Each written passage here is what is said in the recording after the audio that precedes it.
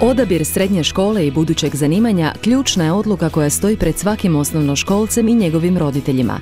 Odlučite već sada i odaberite srednju školu Dalj, školu koja će vam pružiti idealan spoj teorijske nastave, prakse i projektnih zadataka, te vas pripremiti za buduće poslovne izazove kroz svoju zadrugu.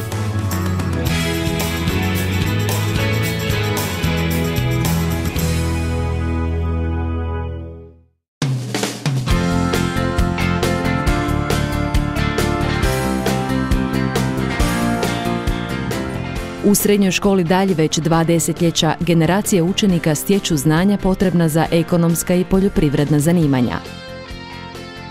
Omogućena je individualizirana nastava, što ujedno znači i praćenje napretka svakog pojedinog učenika, uz prepoznavanje njegovih poslovnih sklonosti i sposobnosti.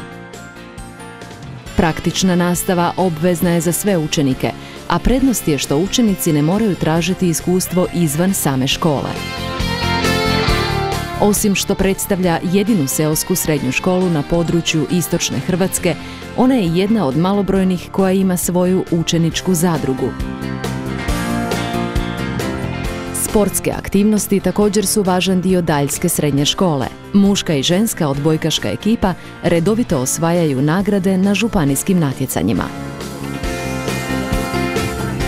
Sve ovo, ali i niz drugih aktivnosti, osigurava učenicima srednje škole dalj idealno mjesto za stjecanje znanja i novih iskustava, te pripremu za životne i poslovne izazove nakon školovanja.